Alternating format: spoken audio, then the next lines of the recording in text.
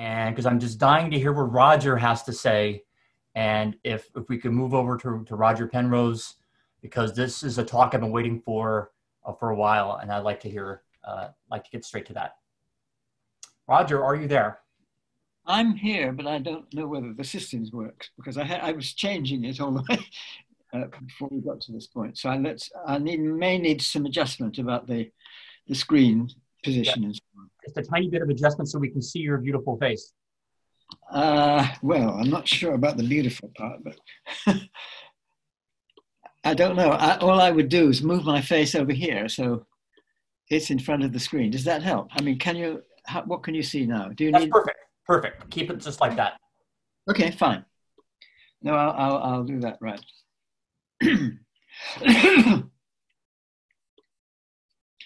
okay, shall I start? Very good. Please do. Yes. Well, uh, the title of my talk, as you I hope can see, is that well, Orch-OR, and it's really about new developments on OR, OR. So I should explain that move, things have happened during the lockdown period, because normally during uh, most of my time I would be gadding about the world, ruining my uh, carbon footprint and so on, or at least enhancing it, I suppose, which is the wrong way around. And uh, unable to do this, I was able to think about things which I'd been sort of leaving aside for a long time.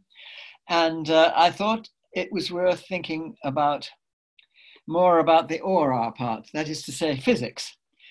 And uh, I want to talk about some of the things that I've come upon since the beginning of lockdown, which are basically new, um, not all to do with the gravitational uh, reduction of the state I should explain what OR is, and I hope you can read the bottom of this picture. Is that can that be read?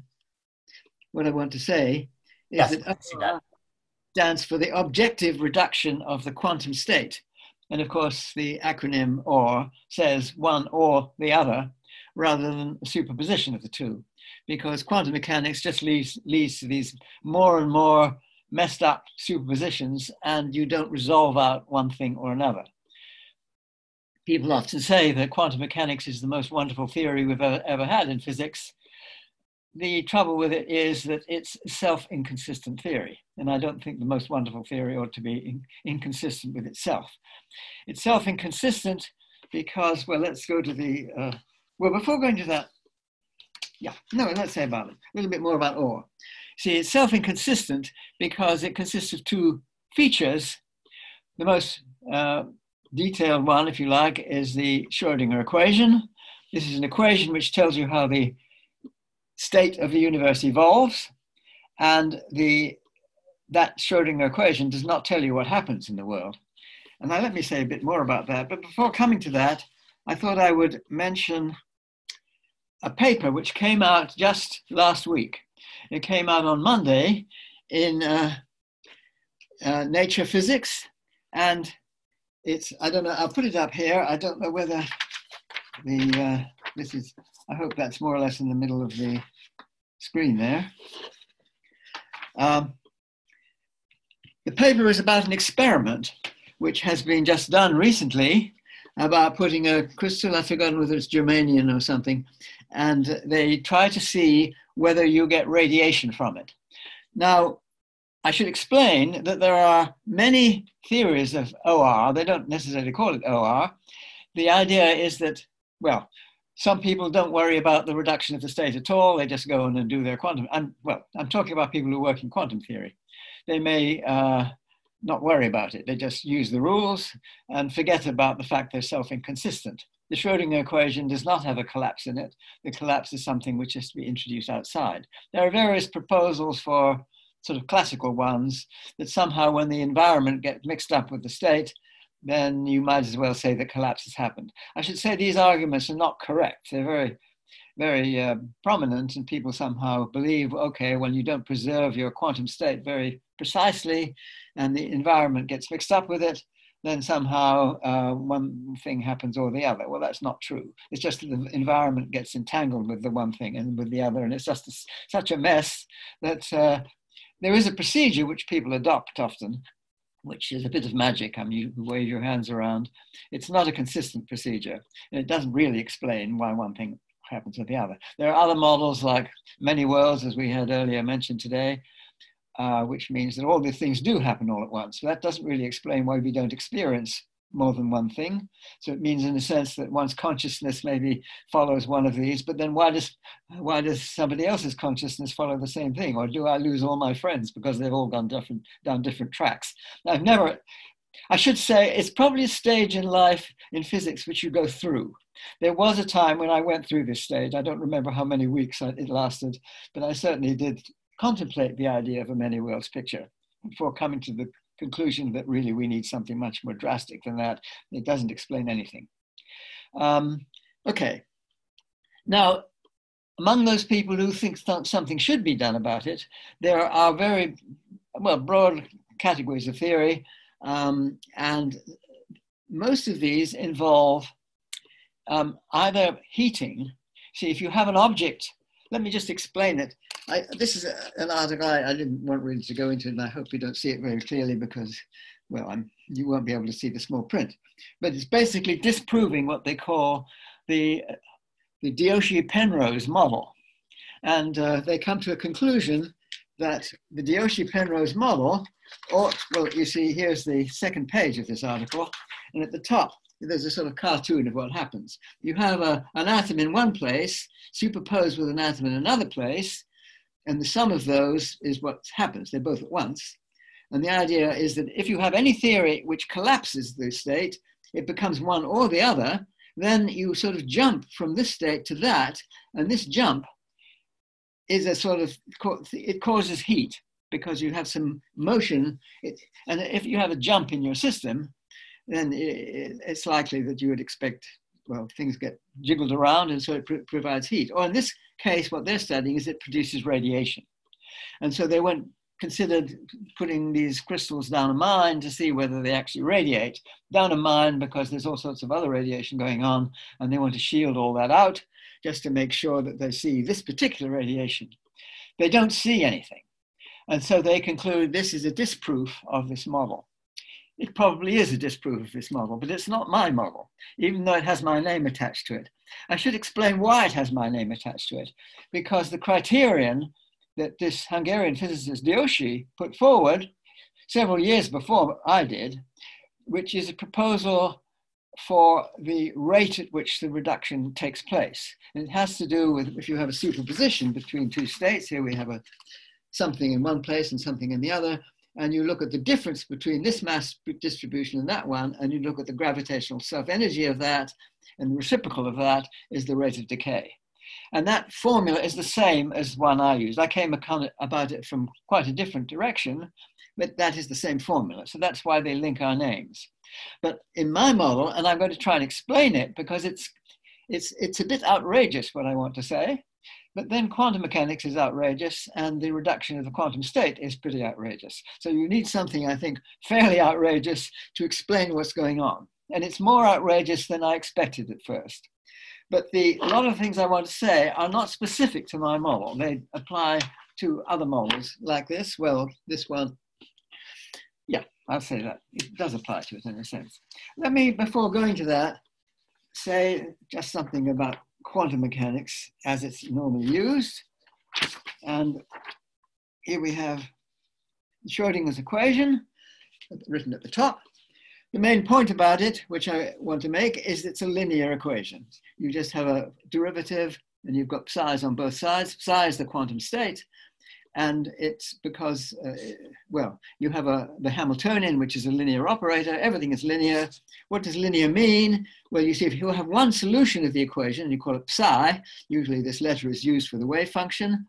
If you have one solution, and if you have another solution, we'll call phi, then any linear combination, alpha psi plus beta phi, is also a solution. That's the whole point of linearity. Alpha is a constant, beta is a constant. These are complex numbers, and they are related to when you make a measurement. If you make a measurement to ask the question, is it A or is it B, or is it alpha, or is it, is it psi, or is it phi, I should say, then the squared modulus of these numbers give you the relative probability. So that's the Born rule. Now, The problem with linearity, as Schrodinger was very clear to point out, people often point to the Schrodinger's cat and say, well, if you had a really elaborate experiment, you could put a, a cat in the state was alive and dead at the same time, and isn't that wonderful? Schrodinger was really pointing out the absurdity of, of his own equation. To have a state where you have a, a cat which is alive and dead at the same time, he regarded it as an absurdity, as I do. Nevertheless, uh, you, it's, it's a, a, rational conclusion from this linearity. Here I have a, a, laser, and here we have a beam splitter, that's half silvered mirror, if you like. It, it, it emits single photon. This single photon goes along, it splits into two, so the photon's location is partly going along here and partly going here. The, the state of the photon is a superposition of these two different routes. This route goes and it fires a gun. I should say that there's a cat at the other side of the room here. If it goes this way, the cat is unharmed. If it goes this way, it fires a gun, kills the poor cat, and the state if the photon is in the state of a linear superposition of these two, which it is, as the photon goes along, its state becomes a linear superposition of here and here. So the reality of the world, if you like, is this together with that on top of each other. This one fires a gun, and therefore, if you if the linearity continues right up to this level, then you must have a cat in a state which is alive and dead at the same time. So that is a completely correct conclusion of the formalism. And Schrodinger was basically pointing out that his, the formalism, he's really pointing out a flaw, if you like, in his own theory. He's saying, roughly speaking, my theory can't be right because it predicts such absurdities. People often don't read it that way. Let me, um, I could move things sideways. I'm not sure whether, if I put both together, that can be seen. Um, let me do that if you like. I don't know if you can you see both of them to, at once or? Yes, we can. Okay. Now I'm going to raise this question: Is is the state vector or is the, is the wave function is it real? Now you see, people often say, "Well, it's not really real. It's something which is it tells you probabilities. It's really telling you something about the probability of one thing happening or of another thing happening. It's not really probabilities because these numbers alpha and beta are not probabilities, they're amplitudes. They're more subtle quantities. You have to take the squared modulus, which is a number, to get the probabilities, the ratios of these squared modulus. But there's more information in it. These, these amplitudes are very subtle quantities, and they're not probabilities. They're certainly not probabilities. There's something from which you can get your probabilities if you have a measurement which uh, distinguishes one from the other, the, the psi state from the phi state. Now, is it real? Now, my eyesight is not good enough to read this down here, but this is a quote from a famous paper by Einstein and co colleagues of what he calls an element of reality. what he says, more or less, is that something has an element of reality if you can predict with certainty the result of an experiment which does not disturb the system. So if you have an experiment which you perform on that system and it doesn't disturb the system and it provides the answer yes that you expect with certainty, then there is an element of, to, of reality to be attached to that thing. And I think it's a very good criterion. It has very strange consequences. One of the consequences, however, is that the wave function is real. There's a little confusion of terminology here because real is not in the mathematical sense. the state is a complex thing, not, not real in the real number sense, but real in the sense of reality. Well, in a sense, yes, because there's a theor- always a theoretical experiment you could perform, whether you can actually perform it, there's a theoretical experiment which could tell you that the state it gives you answer yes if it is in this state with certainty. And that's the only state which will give the answer with certainty yes. I won't go into that because my arguments don't really depend upon it, but I say it does have a kind of reality. So I'm going to say that the quantum state is real. Now I'm going to say something more about this, namely, this is what one of the things that came about from my worrying about well, in the lockdown, trying to worry about the reduction of the state, there really are two kinds of reality. And this didn't occur to me for quite a long time. The reality here is what we're going to call quantum reality. And I'm calling this Einstein's dictum.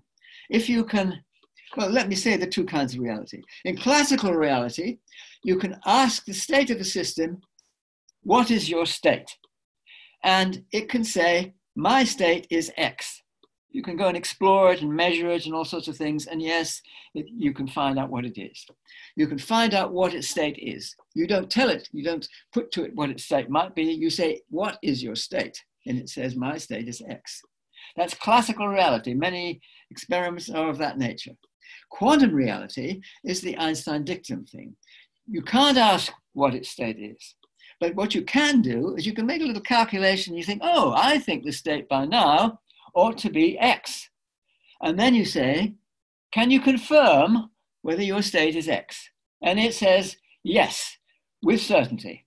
You can repeat the same experiment many, many times. Every time it will come out with the answer yes.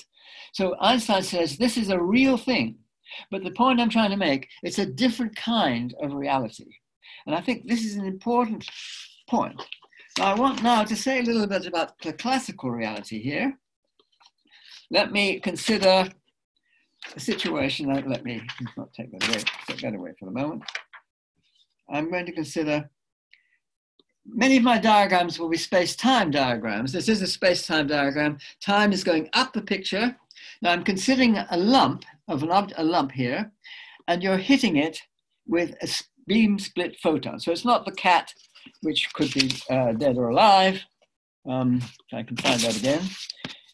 But what it does is if the photon goes one way, it gives the object a little push.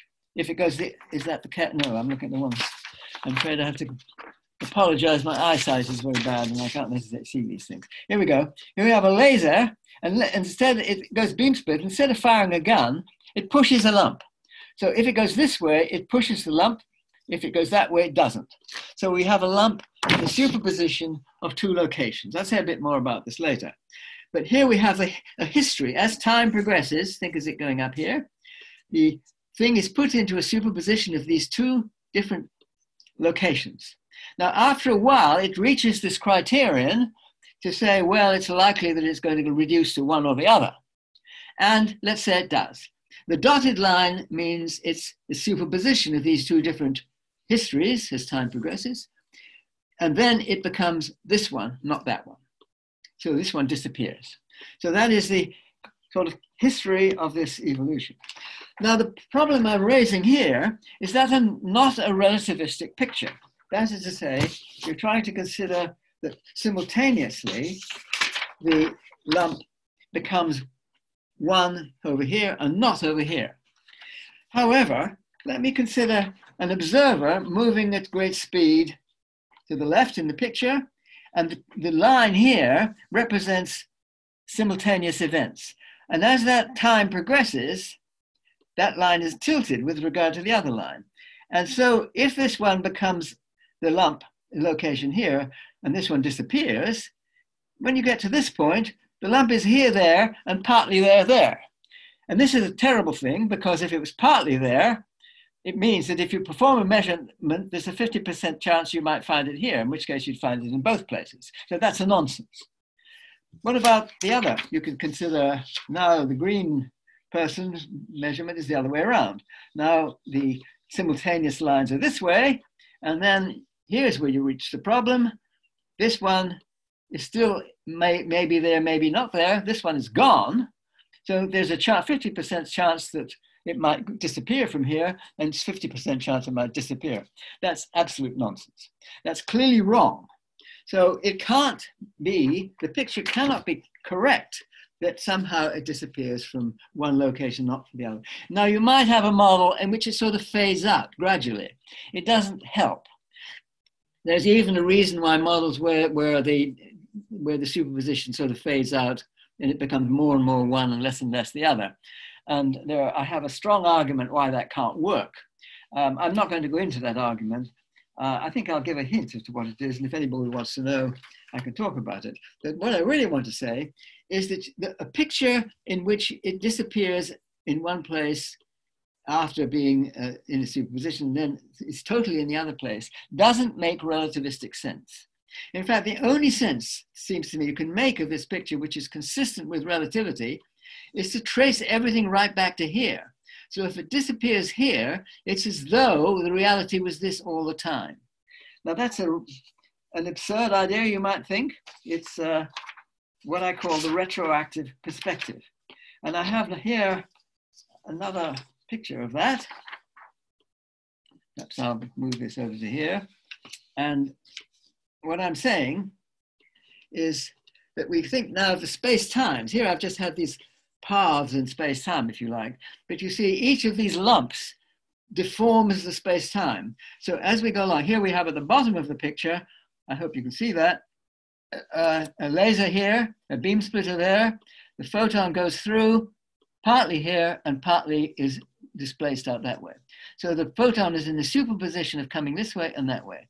So when it hits the lump, if it hits the lump, it moves it, it displaces it backwards a little bit. But if it doesn't hit it, it doesn't displace it. So the lump is in a superposition of being, well, as, the, as time evolves, it moves a little bit. So here it is in a superposition here and here, superposition here and here. But what we have to bear in mind is that the space-time now becomes a superposition, in a sense, of two slightly different space-times. Now, the criterion that Diósi and I formulated, I can phrase it a different way, and that is that the time up to the collapse, which is here, this is where it becomes one or the other, the, the, the difference between these space-times, so that's a four-dimensional distance, is one unit in Planck units. Now, Planck unit is the unit that you get when you try to combine gravity with quantum mechanics. And you get this absolute unit. And it usually puzzles people because they say if you get to that small distance, then space doesn't make sense or something.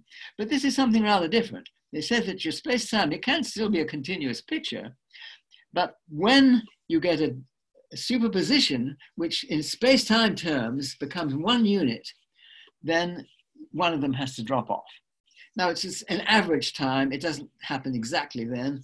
You have to think of it like an unstable particle, which has a half-life, and this is basically the half-life after which it becomes one or the other. Incidentally, it's slightly, well, I, I, on the right-hand side, I have the quantum reality. Now, the quantum reality preserves both superpositions, so that persists as a superposition. But the classical reality says it's got to be one all the time. So when this thing makes its choice, so the choice is made here in a sense, it affects the classical space-time back here. Now this is what is a sort of outrageous thing to say. It looks as though you're in the future influencing something in the past. But in a certain sense, I think this is what happens. You have to be careful of all sorts of paradoxes and I'm worried about this, of course. I worry about paradoxes, uh, but I think it's safe from paradox. It, uh, it's, it's I should say, I did actually talk about this.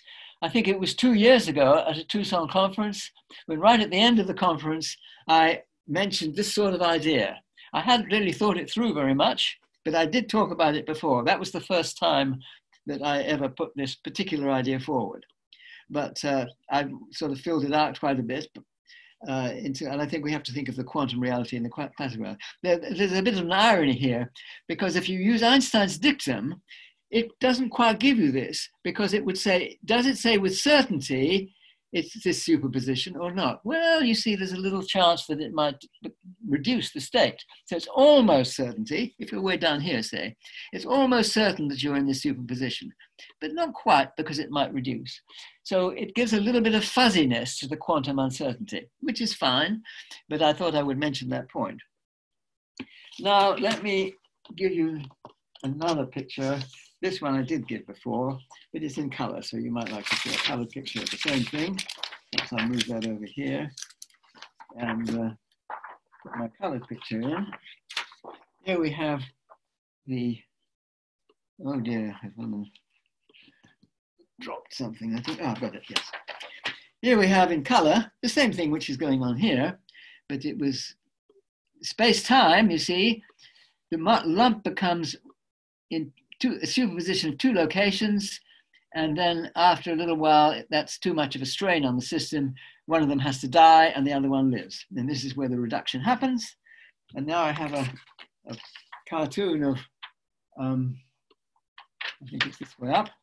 Here we have where the OR takes place. So we have objective reduction. This is the moment of proto-consciousness. I like to call it proto-consciousness, not consciousness, because, well, if everything is conscious, you can't even walk down the street without killing something. Uh, and I think uh, proto consciousness is a safer thing. It's the proto, it's the building block out of which conscious, actual consciousness takes place. It has to be orchestrated in some way, which is a much more subtle problem, I'm sure, to give something which is we could call genuine, um, something that can really feel something in a genuine sense. But in a certain sense, it's the or choice which maybe gives us scope for free will. I've never been quite sure what I thought about free will. Um, certainly, the view is that if you have a deterministic universe like Newtonian picture, or when you introduce Maxwell's equations, it does, it's still deterministic. If you introduce um, Maxwell's demons, even, it's still, still deterministic. If you introduce uh, the quantum wave function, you introduce the Schrodinger equation, it's still deterministic. It's not deterministic or something, when you have this reduction of the state, and maybe that's where one's consciousness actually does come in and makes a decision which goes back in time in some sense. Now, this relates to, in fact, this was the sort of thing which I was worrying about before in the Tucson conference, then, was experiments due to Benjamin Libet in the, uh, in the late 19, 1900s. And uh, I give you a picture of one set of these experiments, which is that, I mean, there are two classes of these experiments. These which involve where you make a movement. So there's the um, active effect of consciousness. I will my hand to move this way. And there's the passive aspect of consciousness when you actually sense something. And there are these experiments which seem to indicate that moving something or other there's a precursor of that, and, and people worried about this. I was never quite sure about that uh, because I'm never quite clear whether when you actually decide something, the precursor may be gearing yourself up to, to decide something, or I don't know. But the other one is to do with the sensation, and this is also a Libet experiment. And I've got a cartoon of this here. Well, no, this is actually a, not a cartoon, it's a, a picture. I don't want to talk about all these things, but uh, I think let me explain the situation is. There is a stimulus to the hand, and this is, I think, an electrode which is, touches the hand at a certain point. And this is at the same time as this patient is having an operation on the brain for some other reason, and the part of that brain which is concerned with the feeling of that part of the hand being stimulated is being stimulated with an electrode. And it's a very, very interesting phenomenon. I think I'll describe this one particular one here, which is where you first of all stimulate the skin, and then a little bit later, you start to stimulate the brain. Now, if you don't stimulate the brain, the patient thinks that the stimulation of the skin is pretty well similar, simultaneous, the I mean, it, it takes place at a certain moment and the patient feels it only slightly after that. So it's more or less simultaneously. Whereas if you stimulate that part of the brain up to about half a second later, then the patient doesn't feel the stimulation of the hand. It, it feels the stimulation of the brain, but it can distinguish, the patient can distinguish the difference between those two things. It feels like the skin, but not quite the same. You can say, no, no, it's not what actually stimulating the skin feels like. I can tell the difference, but it's the same part of the skin that's involved. And if that stimulation takes place after the stimulation of the skin, within, I think, half a second or something, then you don't feel it, the actual stimulation of the skin at all, which is very remarkable. Now, it seems to me this may tie in with some of the ideas I don't think Stuart mentioned particularly, but he did mention the pyramidal cells. And this may well be, I think he may have said, where the consciousness takes place. Now, it takes a while before the, the touching with the skin, makes its way up to this part of the brain. And then you've got to, if that's when you become conscious of it, you have to refer it backwards to when you think the stimulation actually took place. Now, you see, if you can also create an action, like as in this picture here, which moves your hand or whatever it does, you feel, you feel it up here, but then you start to do something a little bit earlier. You see, I've often worried about this delay that people say, well, you don't feel something till half a second later. And this always seemed to me a little bit strange because if you play ping pong, I used to play ping pong quite a bit, and this is something you, I mean, half, you know, it's got to be much, much less than half a second to do something. You've got to make a decision to do with the ball. And is this entirely unconscious or, or actually are you doing something consciously? It always seemed to me that you're doing something consciously, maybe not be, maybe pretty well pre-prepared, the kind of thing you might do, but the choice may come later. So it struck me as these things are things which do need explanation. And uh, I don't think um, that, that uh, we can disregard experiments of this nature. How much time do I have left? Well, we're technically a little bit over. Do you think you can bring things to a nice, tidy conclusion? All right, I'll bring it to a tidy conclusion, which is what about an experiment which could test the retroactive perspective? Here it is. This is, I had experiments in my notes which were like this, but I stretched it out. So it's a stretched experiment. I hope you can see this. Here we have a beam splitter and a, a laser here. The laser is there, hits the beam splitter, the photon goes either this way or that way. If it goes this way, it hits a lump, starts it moving. If it goes this way, it hits a mirror, and there's a mirror on the lamp which reflects it back. And if they're coherent, it goes straight back here, and the detector, detector over here won't feel anything. Now you see, I've did it here so that the, the beams come back after the lump has started moving. But it hasn't moved far enough for the state reductions to take place. It moves and moves, and then finally it does one or the other. Now, when it does one or the other, any other model, I think, of state reduction would say, well, it's too late. The photon's already got back here, it's reassembled itself, and there's no way this detector would reactivate it. But in the retroactive picture, it would go back to this, this is where the moment of reduction takes place and it would have to go back to there, and therefore you would have 50% chance of this detector actually receiving the photon. It might be a pretty difficult experiment to do. It's not too far beyond the kind of experiment that Dirk Bouwmeester has been doing to uh, test. It's an experiment in, uh, in my notes. It's, it's, one like this here at the bottom where you have um, cavities and so on. I, I, won't go into that unless anybody asks me. Um, but it could be done it's certainly not on the cards yet. Uh, I, I, think it should be, experiments should be geared to seeing whether this is possible or not. Thank you very much. Thanks so much, Roger. Well done. So, over if I did, yes.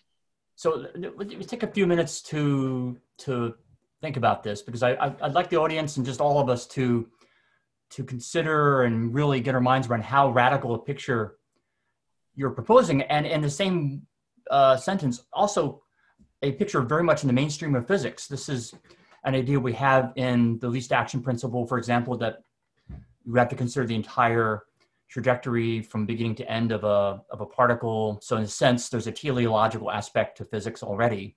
And I'm wondering if you could just comment almost philosophically or just reflectively on the significance of your retroactive interpretation. Well, it's radically different from all these models. I mean, go back to Newton and uh, Laplace and people who uh, who worried about, uh, you know, where's free will, even if you uh, don't know what makes you make your choice or whatever it is. Um, well, if it's all predetermined and somebody, I mean, I, I, think it was Laplace who made this particular point very strongly that some somebody could, in principle, or a calculation could exist, which would calculate what everything is going to do once you know the initial state. Um, I've lived with not really making up my mind about this for a long time. And uh, uh, the Schrodinger equation is completely deterministic.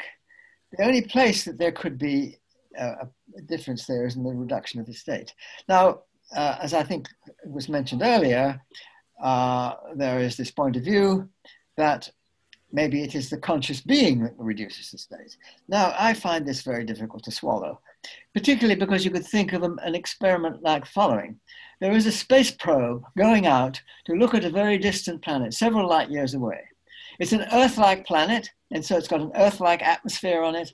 And this probe goes out there and make, takes several years to go out there and it sends a signal which takes quite a long time to get back to an observer looking at the signal. Now it's pro it's having it takes a photograph of the atmosphere.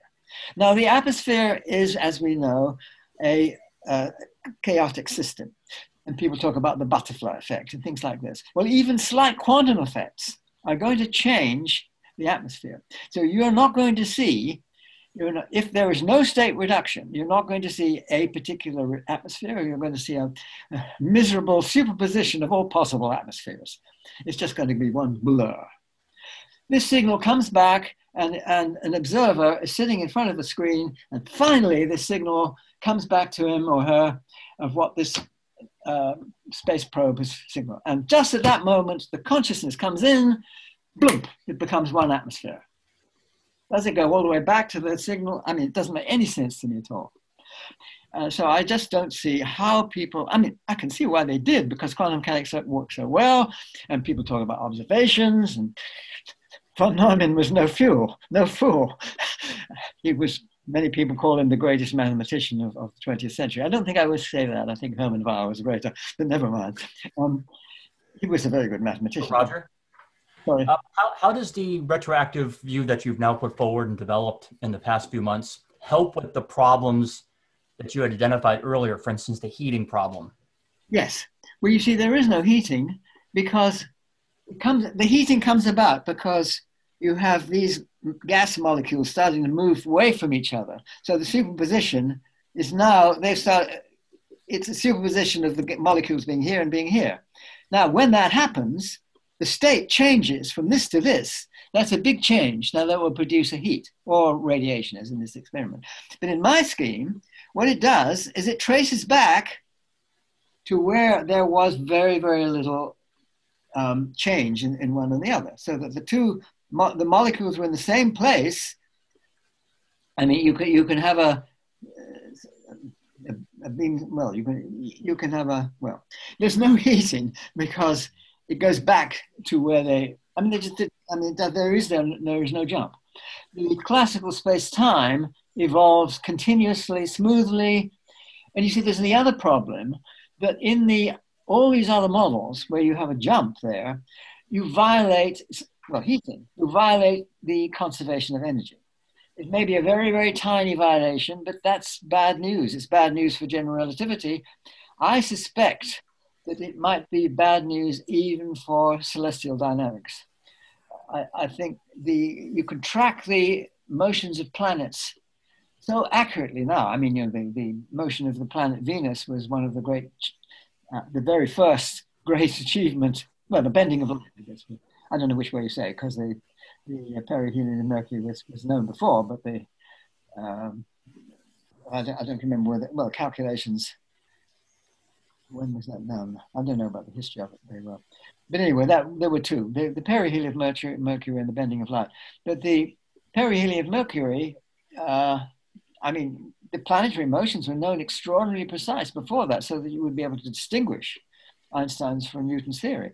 Now, I should have thought that if there was any change of mass of any significance in a planet, which would be really quite large if this state reduction is taking place all the time, that this would have been shown up by now. Now I'm just guessing whether that's true. So, Roger, the if I'm following you, uh, this new view, the retroactive view, maintains the principle of conservation of, of energy, but yes, on pain of just introducing a teleological element to to our physics. That's correct. Yes, but it's a it's a very slippery kind of teleology, which is hard to pin down. You see, I, I had worked hard to make the experiment I mentioned at the end. I had to work hard to think of any experiment where a, model of the standard kind. I mean, you have an experiment, the first one I had, which I, I uh, it was developed from was one here, which I considered it. But you see, you consider that the photon might be entangled with the object here. So you lose your coherence because it's entangled. But this is so long afterwards, and, and the thing is already cohered. So it took me a while to think of an experiment where you could conceivably see the difference. Well, I say the difference between, well, actually see the retroactivity directly. I mean, that's what I'm trying to say. Whereas this particular experiment that I'm putting forward here, it's only in a, in a very uh, primitive form. I think, I mean, uh, there maybe one of some of these experiments using Bose-Einstein condensates that Yvette Fuentes is collaborating with me on. And I think th there's a lot of lot more scope there because you there a lot of flexibility. But how you do this experiment with them, I, I don't know yet.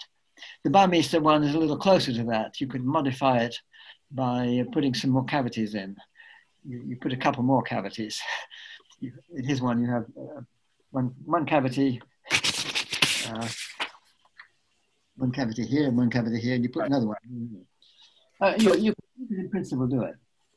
So I'm, I'm looking forward to seeing how this idea develops and the paper. You've already shown me a draft of a paper that's something like 80 pages long. So I'm curious I'm going to um, have to use that. Yes. Right. So let me try to broaden the discussion a little bit. Um, the, by the way, audience members, the organizers have allowed us to go a little bit long on this session, uh, just to make sure we get some of your questions in. But using my prerogative as, as a chair for, the, for a moment, I wanted to ask Stuart if you could just bring us quickly up to speed on the status of uh, empirically testing and intercomparing the different theories, Orch-OR, IIT. I know you've got a whole initiative to try to bring some kind of sense to all this this zoo of theories. And where does that stand now? Well, Templeton has the project Accelerating Research in Consciousness, Templeton World Charity Foundation. And uh, we initially attempted a uh, uh, adversarial collaboration with IIT, but we couldn't come to an agreement. And uh, uh, we're, we're Templeton agreed to fund our attempts to falsify Orch-OR without bringing IIT into the mix. I personally don't see how IIT is testable or falsifiable. I know that they are, they're in a project with uh, Global Neuronal Workspace, something about if the MRI is active in the back of the brain, IIT uh, wins. If it's in the front of the brain, Global Workspace wins. But I've seen studies uh, where the activity supposedly correlating with consciousness is sometimes in the front, like with executive actions, or if you're just watching a film mindlessly, it's in the back of the brain. So I think consciousness can be in the, first of all, we don't know that MRI uh, correlates with consciousness, it's blood flow. And there are examples where we know it, they, they don't correlate. Uh, so I don't see how uh, uh activity, bold activity in the front or the back will prove or disprove IIT. I don't think it's, it's testable or falsifiable. I actually don't think it has any, it, it's very general. It applies some uh, uh, nonlinear, I'm not, not, even sure what it is. When I heard, first heard about phi, I thought, ah, oh, the golden mean, that's cool. Fibonacci, microtubules, interesting. It's not that, it's something else, and I still don't know what it is after all these years. I also have to say that I spent a lot of years with a nonlinear dynamicist, very good friend of mine, Alwyn Scott, who wrote Stairway to the Mind and started the CNLS at Los Alamos and went to a lot of chaos meetings up there and whatnot, and tried to apply nonlinear dynamics to consciousness and microtubule activities, and it just didn't seem to do anything for it. And then uh, I read Roger's book and met Roger and decided that the quantum approach was much better. So um, uh, IIT's main, main claim to fame seems to be that they explain that the, uh, the way the cerebellum is wired up, uh, it doesn't have enough phi, which is why the cerebellum isn't conscious, but the cerebellum doesn't have pyramidal cells. I think uh, consciousness occurs in pyramidal cells primarily. It can uh, occur in any um, microtubule bearing material or, or anything else, really, if it's protoconscious. Um, but uh, you don't need to invoke, you know, how the cerebellum's wired up if, if, if you need pyramidal cells. So um, for a while, um, they were trying to say that if we could show uh, quantum vibrations in microtubules uh, that uh, that uh, uh, IIT would phi would apply to that, and I said, okay, well let's do it, and then we'll see which which applies better, Orch-OR or IIT. And then they backed out. They didn't. I called their bluff, and they didn't go for it. So Uh, we're going on our own. We have funding to do, uh, and I'm not involved in the experiments. Roger's not involved. It's being done by experts who are basically neutral. Uh, in fact, uh, some of them are, are, are skeptical uh, of, of what we say. So we'll see. And we're, you know, I, as I said in the title of my talk, uh, it would be very easy to falsify Orch-OR, at least Orch, by showing that there's no none of these quantum vibrations in the microtubules as our, as our computer modeling study uh, showed. Basically, we're trying to do that computer modeling that I, I, had a blitz through too fast, uh, do it experimentally to find these quantum vibrations in microtubules in the terahertz. And if they're there at room temperature or biological temperature, then see if they go away with anesthesia proportional to the anesthetic potency. I think that would be a very strong uh, claim, certainly stronger than any other theory of consciousness yet proposed. But I have no idea how to disprove IIT. Great. So looking at some of the questions that are coming in, there's actually a common theme has developed in a few of the questions between your talk and Peter and Hartmut's talk. And maybe actually I'll pose this question to Peter and Hartmut, therefore. And that is the, the role that you're giving to pleasure seeking as opposed to other uh, evolutionary ad adaptive advantages, for example, or subjectivity. So can you flesh out a little bit why you give pleasure this central role? Peter, uh, Hartmut or me? Uh, um, maybe maybe Hartmut, and then Peter can chime in, and then Stu, you too. Yeah, so we definitely didn't want to propose a pure pleasure-seeking robot. Um, it's actually both ways. Um, what pleasure and displeasure. Um, all we meant to say, it is a good place to start. Um, when you try to reconcile the first person perspective and third person perspective, as I said, it's a good place to start where these perspectives are correlated. And it seems like, um, maybe follow Antonio Damasio's work, um, who points this out uh, very eloquently, that feelings are basically about checking in how the homeostasis is doing. And if your homeostasis is doing well, then you seem to be in a good um, state, it feels good. And if your homeostasis is uh, threatened or becoming unstable, then it feels unpleasant. So it's this correlation. It's not just about pleasure, it's about uh, both signs. Peter, did you want to chime in as well?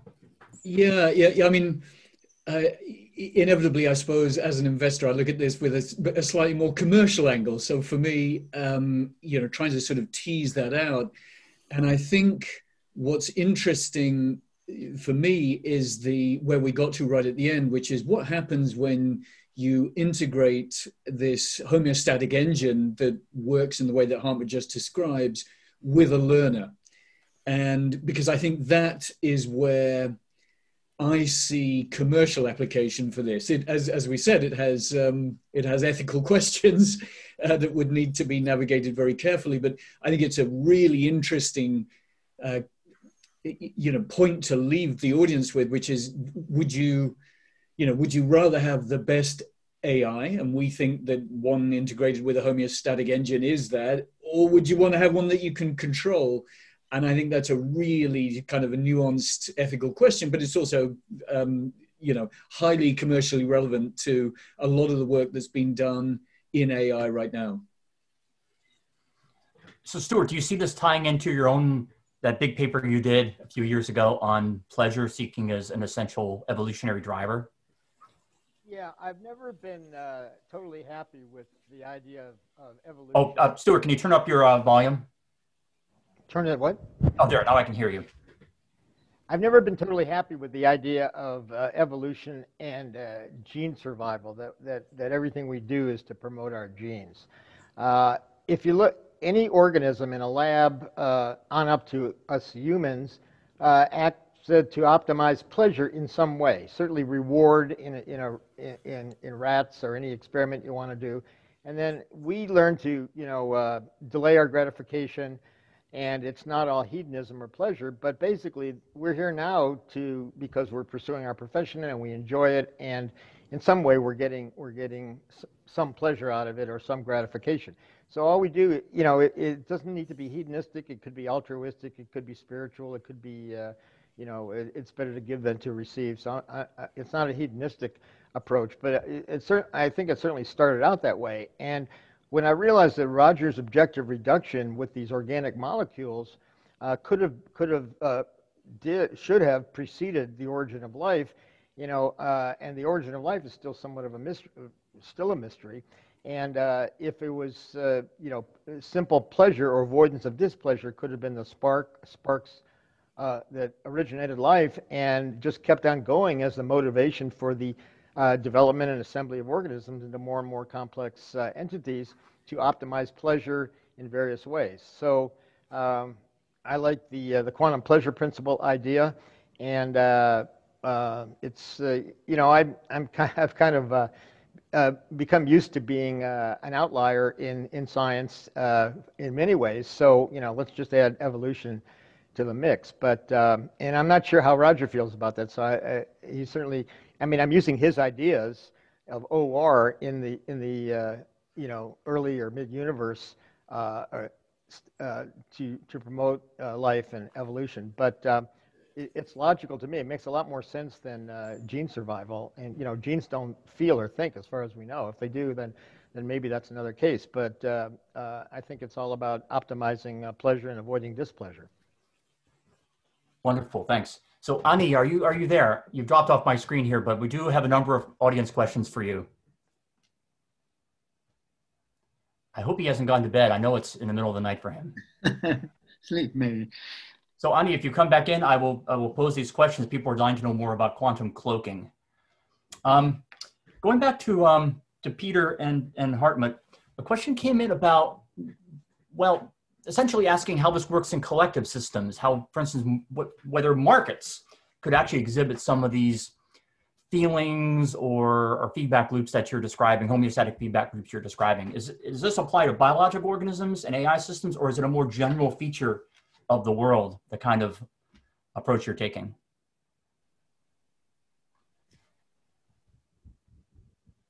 Peter? Sorry, go for a moment. Yeah, uh, maybe um, you know, I, I gave sort of this um, explanation of why we think conscious experience is a limited observable. It's uh, observable strictly in the Gedanken experiment of two clones. Um, and I have always thought, okay, between us and a robot, the, um, the, on Animat, this gulf is too big. We are too different, even though we can think of this cheesy move of giving it self-reporting abilities via word embeddings. But I always thought if there would be a society of um, or multiple animats that could interact with each other, then for them they become observable. Their conscious state um, becomes observable relative to each other. And can we exploit this somehow? Um, but I have to admit, I never got this to work as of now. So yeah, it would be very interesting to think of this animat we proposed in a group setting. So you have multiple AIs interacting with each other. What happens then? Um, but as of today, I don't have a good answer for that.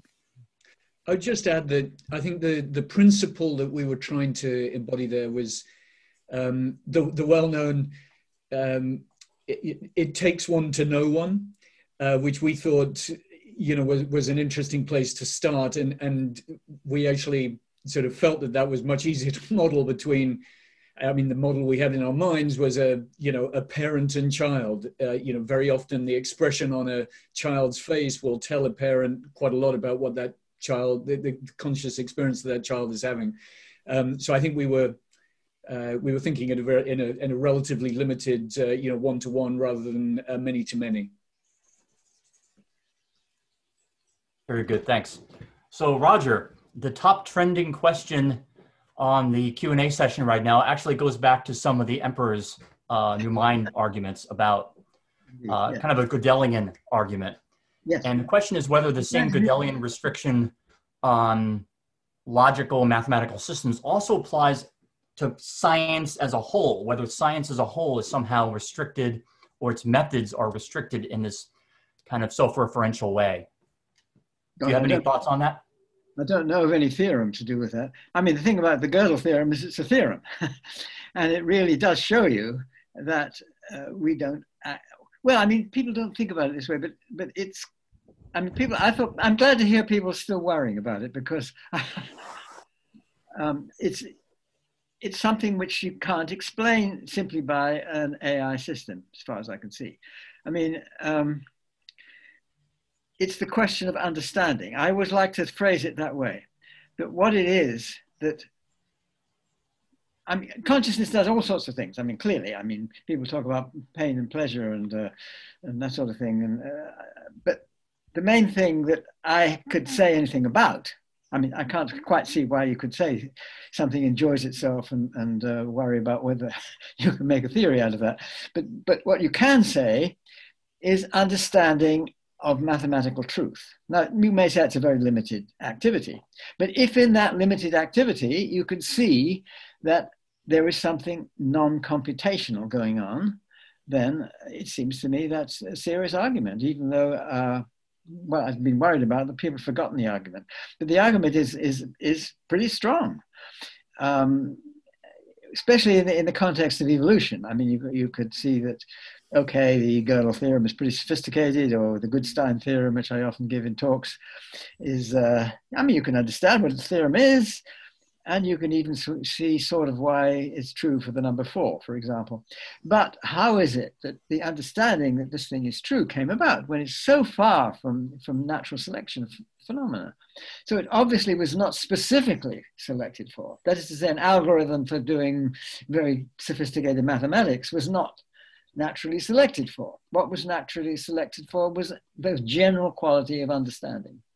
And that's the ability, if you like, to stand back and think about what you were thinking about and things like that.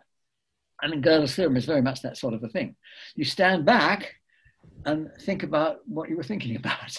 And that's, that's, that's exactly, you were trying to think about what somebody else would think about something. And you can see in behavior, I mean, one of the examples I was like to quote is this, the, the African hunting dogs and how they are, they, you can see them dividing themselves into two groups. One group go and hide just where the, the pass over the, the river has to be, and the other one go and chase the antelopes there, and then they pounce on them. I mean, they must have com- been communicating with themselves in some way to work out that strategy. Okay, that's not solving the Gödel problem or something, but that's understanding of some kind and that I can well believe goes way, way down in, in, in, in the animal kingdom, not just humans. And that quality, okay, it's been developed very greatly in, in human thinking, and sure, but it's something which has been there a long time and it has been uh, naturally selected for. And what consciousness is doing in this particular respect is giving us the quality of understanding. That does other things too. Um, Do you think that the difficulties we have in science, at least in theoretical physics, of mm-hmm. understanding the measurement problem or other great questions of our age, the question also... is beyond us, I suppose. That was I, I rather lost the question in rambling in my way. No, but yeah, the question is: Is there some limit to our understanding, in some sense, of physics? I don't quite see where there should be, and I don't know of any sort of Gödel type theorem which says you can't have that. Okay, you can't have a theory which tells us what I'm going to do next and then I do something else. I mean, sure, yeah, you have that kind of limitation. So it can't be a theory where you could um, make a computer work out what I'm going to do in 10 minutes and tell me what the answer is before 10 minutes. And that's I'm damn well not going to do it. So you can see you've got, you, you've got to avoid, avoid that kind of paradox. And clearly you've got to avoid that kind of paradox with the retroactive scheme, which I'm putting forward. So, so that's absolutely clear. So um, uh, that's the thing which is, but it's not the same as I think the question was worrying about whether a limit ultimately to the, to the development of physics. I don't see why there should be. It may be, you know, too complicated to work things out or made difficult in other, some other sense to work it out. But I don't see why in principle one shouldn't get to the root of it all. We're not there yet, long way from it. But. Well, those of us trained in physics will be relieved to hear that because that's what our life's work is. Yes. So, Stuart, there's been a couple questions that um, actually there's been a number of questions about some of the nitty gritty of Orch-OR and microtubules. But let me just pick one of them as a representative question, which is memory. So can you elaborate for a couple minutes on how memory works? Because this is, I think you're proposing, if I'm following, a pretty radical shift in neuroscience of memory. Yes, uh, the, the uh, standard idea is synaptic plasticity, synaptic strengths. You have a neural network, and the strengths of particular synapses in the network will channel information activity through the network in a particular way. And synaptic strengths and uh, the famous long-term potentiation experiments, uh, Bliss and O'Keefe and, and those guys um, uh, uh, showed that a high frequency input causes a prolonged sensitization of that synapse. Uh, and uh, Donald Hebb and, and all that. So that's that's pretty standard dogma. The problem with that is that the membrane proteins at the synapses, the uh, both on the postsynaptic side, the receptors and the and the GTP uh, cyclic uh, G proteins and all that, and on the release side, are transient and only last hours to days and uh, memories can last lifetimes. So these proteins have to be replenished. And how are they replenished? Well, by the microtubules uh, with the motor proteins carrying those things along, as I showed in one of those early slides. Um, so um, the microtubules are involved in, in memory, but most people would still say it's in the synaptic strength, uh, but that's too short. Now, what we showed in our paper uh, with the CAMK2, Travis uh, Jack Tuszynski, and I, was that CAMK2, which is uh, uh, not well understood, this hexagonal enzyme, and is involved in memory, can imprint up to six bits of information per CAMK2. And with every synaptic influx, there's hundreds, if not thousands, of these CAMK2s that spread all over the, the neuron, the, the dendrite uh, tree, dendritic tree. So, uh, and the phosphorylation fits. So, um, it, I think it's a, it's a valid mechanism. And uh, um, uh, we get a lot of hits on our, our paper, but it hasn't made a dent in neuroscience uh, because everybody's so entrenched, uh, just like everybody's so entrenched in neurons being the fundamental units of information processing in the brain. And we know that can't be right. But when you think about a single cell like a paramecium or even an amoeba that can solve problems, a paramecium swims around, finds a mate, can learn all these things. It doesn't have any, it's not part of a network, it's one cell. All those creatures use their microtubules. So would our microtubules be sitting around acting as bony skeletal support and not taking advantage of their information processing abilities? I don't think so. And we need the, we need the capacity for memory storage. And uh, each tubulin can be uh, modified in so many different ways post-translational modifications, phosphorylation, uh, binding of, uh, of, uh, various things, so that each tubulin can have, let's just say, 10 states. So you've got 10 to the ninth raised to the 10th power of possible states per neuron. So the capacity of memory storage uh, at that level is enormous. Then the problem is, well, how does it relate globally? And so you need entanglement, you need something quantum so that memory is distributed. And we know memory is distributed anyway through Lashley and Pribram and so forth. So um, I think it's a logical uh, proposal. Uh, I'm somewhat dismayed that it hasn't been picked up on because uh, memory is still a mystery. And uh, the whole thing with Alzheimer's and, and memory loss, uh, sh- people should be looking at the microtubules. And uh, in fact, we've proposed using ultrasound. Ultrasound, uh, uh, this, this, study yesterday, and Sasha Bistricky mentioned a couple of different mechanisms. He said, well, Stuart has his own ideas. Well, my idea is that the ultrasound acts on microtubules because they have megahertz vibrational frequencies, and we actually have some preliminary data on that we've, we've never published. And uh, but um, I, I, think uh, that's a way of addressing memory issues in Alzheimer's and, and other uh, neurological disorders is, is by approaching the microtubules, not just working on receptors that act on uh, membrane proteins. Wonderful, thank you. So, um, Hart, we've had a few questions that are in a very much like, tell me about X uh, perspective. So let me kind of pack those together. Can you give us just a quick rundown of where some of your experiments, to the extent you can tell us where your experiments in progress stand? What's the next milestone we can look forward to now that supremacy has been achieved? Just a quick status report. yeah, so this would, my day job, I should say, is um, not about uh, building a conscious or feeling animats.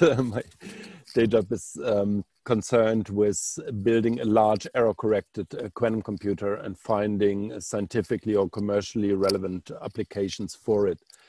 And um, for those who are interested, um, we host um, annual event. It's called the Quantum Summer Symposium, and the uh, videos uh, of the talks just went online. So there is actually a half hour talk if somebody wants to know what where does the quantum ai lab at google stand today and uh, what is our roadmap going forward? There's uh, talks that people can look at. Um, but i can maybe highlight um, where we want to go. So we indeed um, spent significant time fleshing out um, a roadmap and the anchor points are, we believe it will take us about 10 years. We joke it will be before the end of the decade, to allude to this Kennedy quote, that we have uh, this error corrected machine um, ready. And there's a, a, sequence of technical milestones leading up to it. Our next technical milestone is to demonstrate that quantum error correction can work in principle. It has never been shown that um, let's say you build a little grid of qubits, let's say three by three uh, qubits or five by five qubits, and then you surround them with these measure qubits that do the roundabout parity measurements that I uh, talked about. So what you need to see is if I have, let's say, a five by five grid of data qubits relative to a three by three grid, then the logical error rate needs to come down. This has never been shown. And this is our next milestone. So we hope um, to demonstrate uh, that.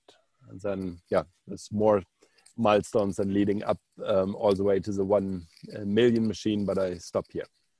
Can I can I just add, George, to to that again? Again, from a, a layman or a, or a more sort of commercial um, perspective, I, I, said during our talk, you know, what excites me about what uh, Hartmut and his team are building there are these machines that um, solve problems the way nature solves problems. We would call it biomimicry, I guess. And um, in the the commercial, uh, the the most likely commercial applications of that could potentially be in things like um, quantum chemistry.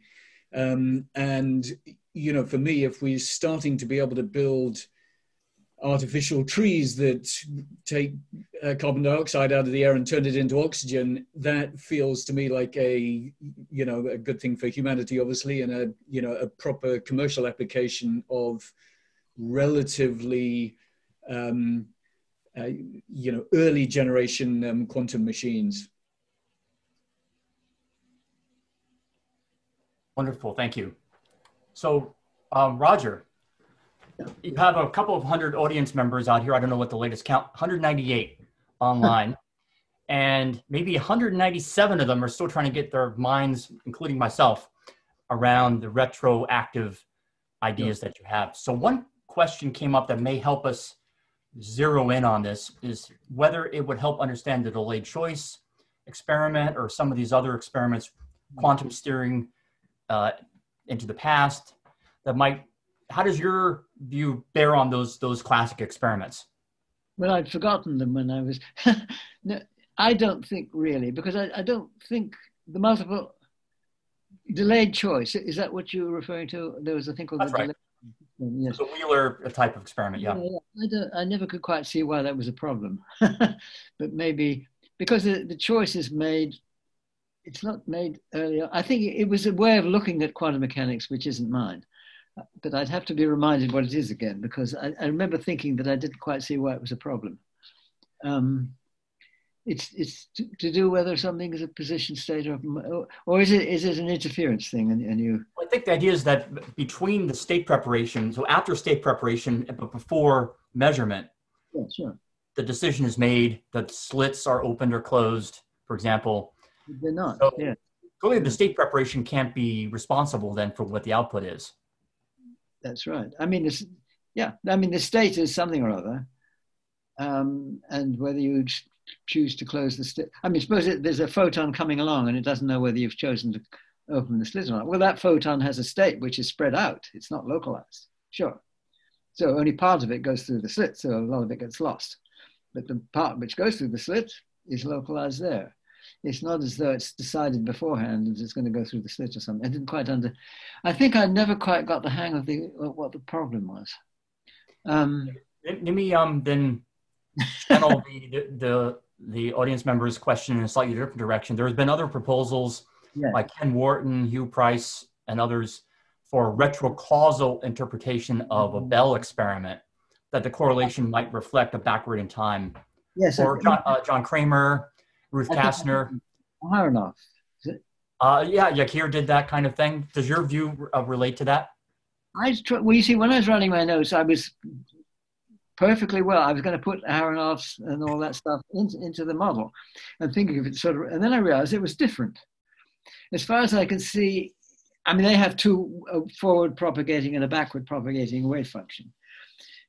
And so that when you, you have a measurement here and then a measurement here, um, here and here means in time, earlier and then later, and this measurement re- reduces the wave function to, to a reduced state here. But then there's a corresponding wave function which is reduced by the later measurement and they come back. And it's quite useful to consider those two wave functions together because you can look at scalar products and so on.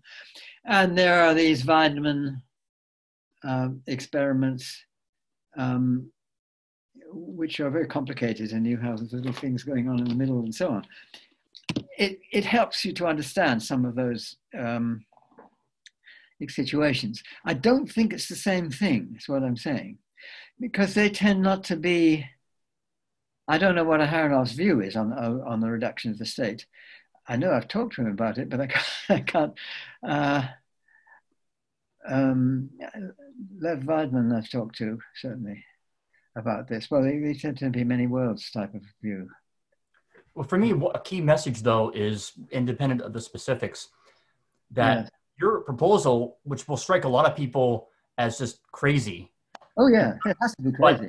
But, but it's very much in keeping. It's, it's, it's something a lot of people have thought about, and it's yes. not crazy. It's really, it's just objectively not a crazy idea. And I'm very excited to see how you develop it when I say it's crazy, I mean it's, it's unlike our current thinking.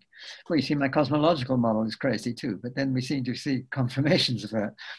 Um, this is crazier, but that doesn't mean it's wrong.